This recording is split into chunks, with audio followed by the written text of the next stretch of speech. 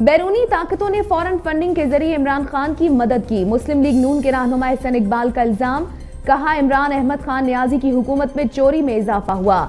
جو کہتے تھے کہ بھیک نہیں مانگوں گا، وہ دنیا کا بڑا بھیکاری بن گیا۔ مہاتیر محمد کو پتا نہیں تھا کہ یہ یو ٹن خان ہے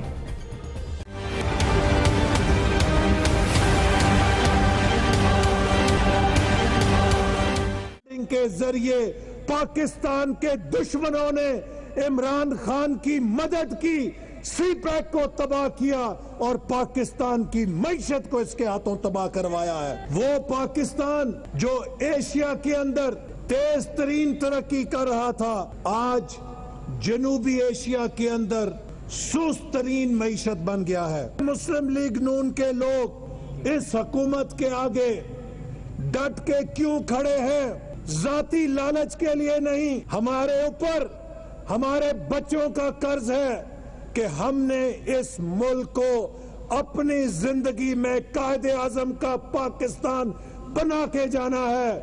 ہم نے اس ملک کو اپنی زندگی میں اس کو پٹڑی پہ ڈال کے جانا ہے۔